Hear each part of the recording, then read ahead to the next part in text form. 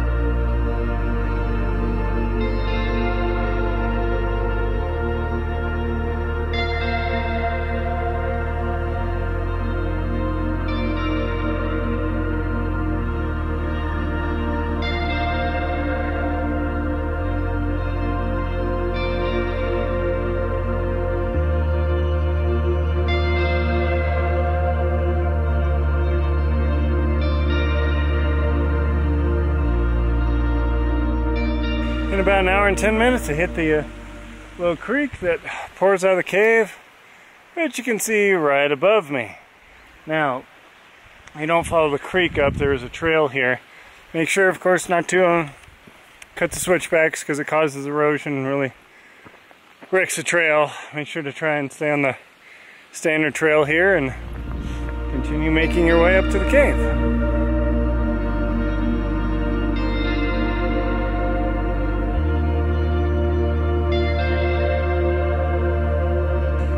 And just a few feet from the creek is this memorial plaque to several, I believe it's Girl Scouts who died years and years ago with a lightning strike right in the area.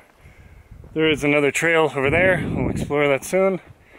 But yeah, that was interesting because several years ago I was here with one of the last survivors from this incident, an older lady with a big group with her. It was pretty interesting, written up in the Teton Valley newspaper. So I'm going to try and continue and making my way on here and show you how to get up to the cave.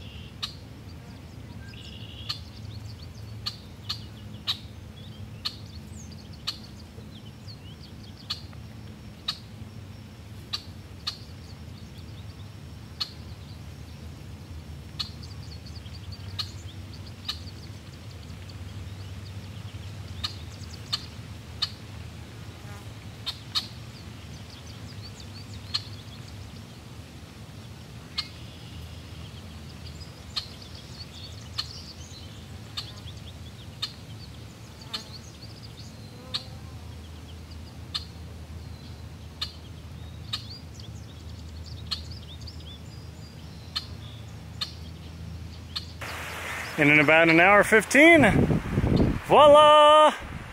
Darby Wind Cave. Now, this area is pretty interesting. There are two sets of steps, uh, one to the left, one to the right. Uh, either option is viable, however, you're going to have to get over this little uh, waterfall that comes out of here. And early in the season, the water is really pouring. You gotta be really careful. It's uh, easy to get smashed up here. So, what I'm gonna do is make my way up this rubble just a bit, go across here, and then catch the right side, and see how we do.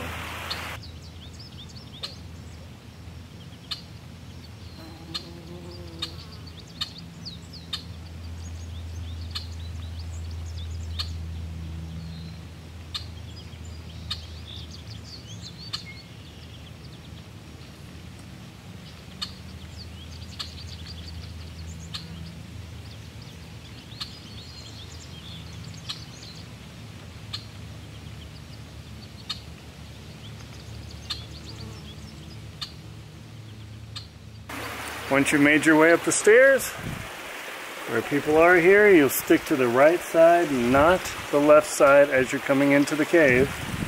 You come up this right side, you'll hit a few wet spots, and if, if there's a lot of water, it's all limestone, so it is slick. At this point, you'll be able to go in quite a ways before needing a light, but I like to get it out now, get it all prepared, have my backup flashlights. I'm not going to go far, just through the small opening, because past the first drop. I'm a soloist, so you don't want to get stuck in here. Happened to a couple years ago and almost died. So uh, take it seriously. It's super beautiful, just be cautious.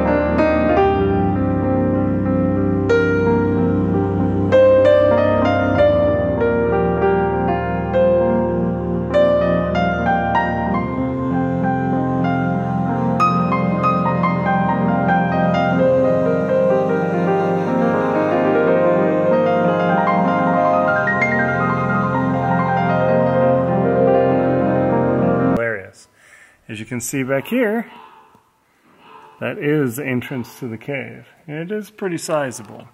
Now past here, you can see the cave. I'm to walk around here. Hang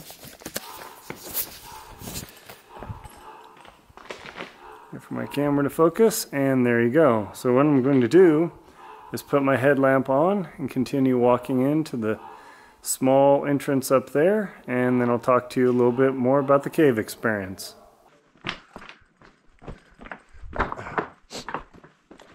Ooh,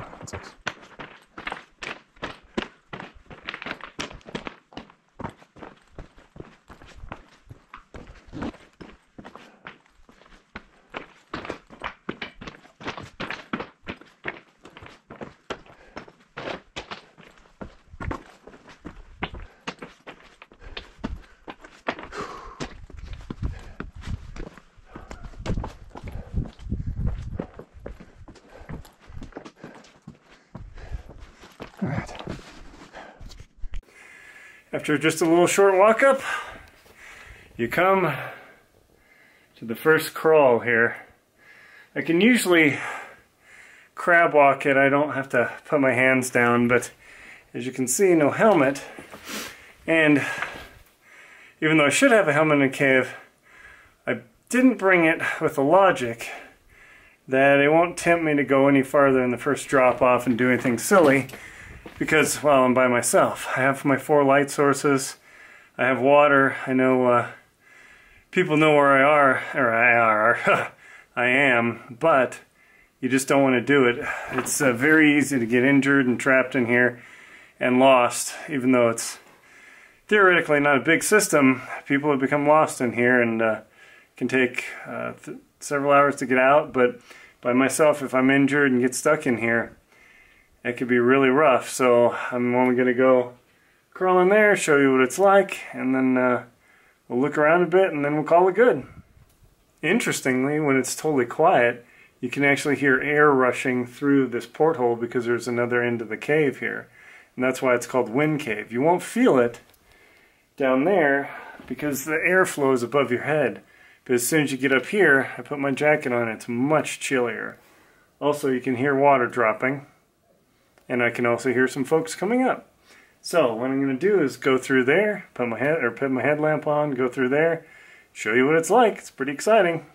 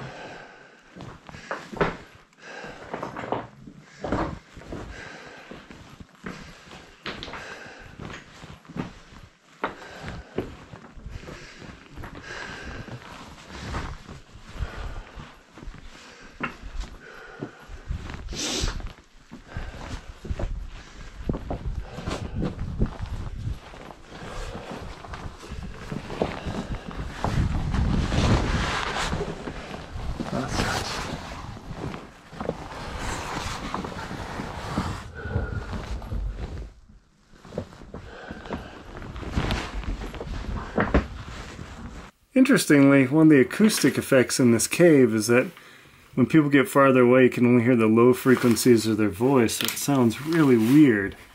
It sounds just like so it's kind of cool. As you can see, that first passage was a little bit crawly. Then the second passage here, you can stand up. It's not too crazy. Then it gets a little bit bigger, and we're going to continue on a bit.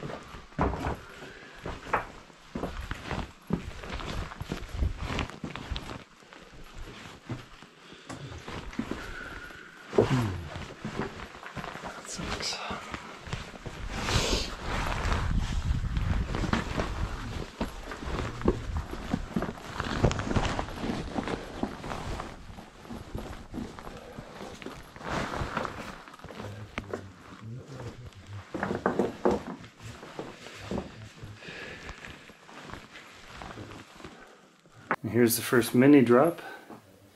It's about uh, eight or nine feet down there, eminently crawlable. You can see those other folks up there.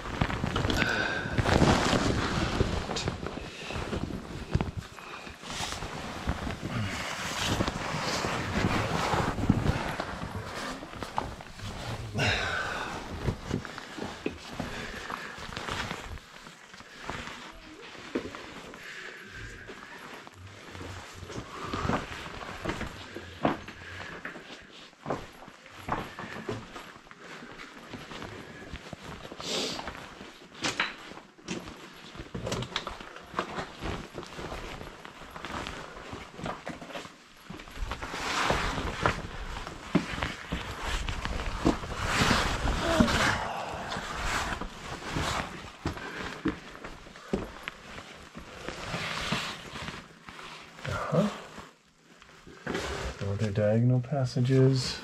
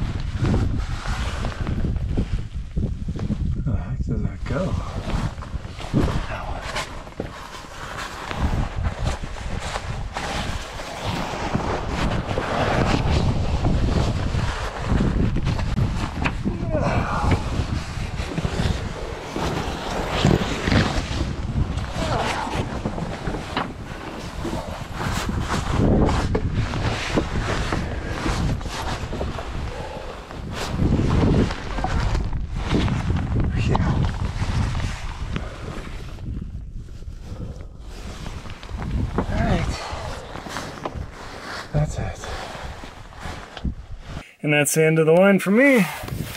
You can see, you gotta crawl down and around it up there.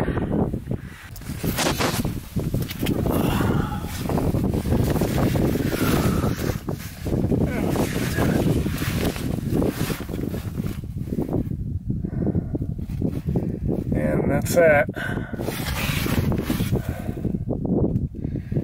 Pretty interesting. Ah.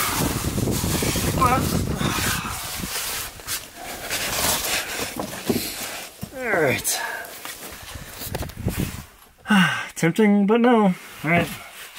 Start crawling out, so if you're claustrophobic, definitely not the place to be. We can turn around, start heading back out. It's uh, it's cold in here. I can see my breath. But there's constant breeze. It's icy up ahead. No helmet, multiple people, knee pads. Nope, doesn't make sense. So, I will turn around, call that good. Tempting, but uh, that's why I didn't bring all the gear to prevent me from doing anything silly. So I'm gonna head back along this little pinch here and start heading back out.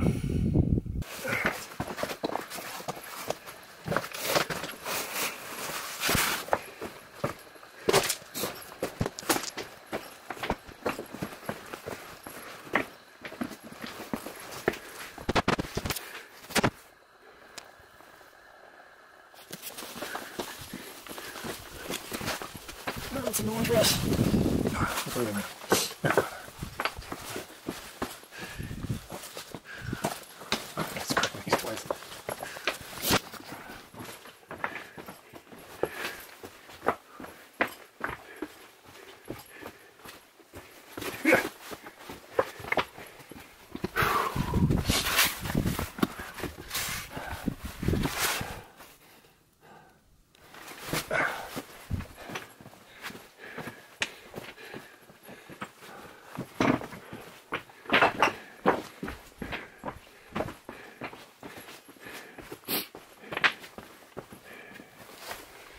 We are. Light again. So it was quite the little adventure just to go back to where you got to crawl and tunnel up and go over. That's the end of the line for me as a soloist. As you can see, you got to go through this little tunnel. I, I've crab walked it before, but with gloves, I can just hand walk it. So I'm going to flip over the GoPro, crawl out, get into the bigger space, and uh, tell you a little more about, about a little bit more about this. My lips are cold because it's cold in here.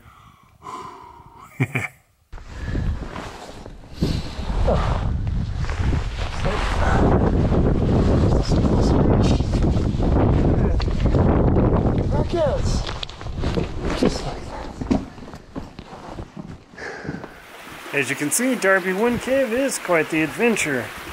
You look way back there, somewhere. You can see far, far back, so.